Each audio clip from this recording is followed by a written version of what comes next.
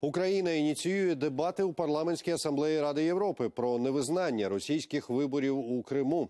Заявку на обговорення цього питання на квітневій сесії асамблеї у Страсбурзі подав віце-президент Пар'є, депутат Володимир Ар'єв. Про це він повідомив е, проекту Крим Реалі.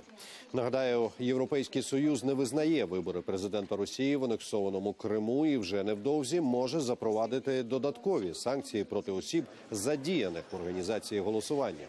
Список із їхніми прізвищами глава МЗС європейських країн передав Павло Клімкін напередодні під час зустрічі у Брюсселі.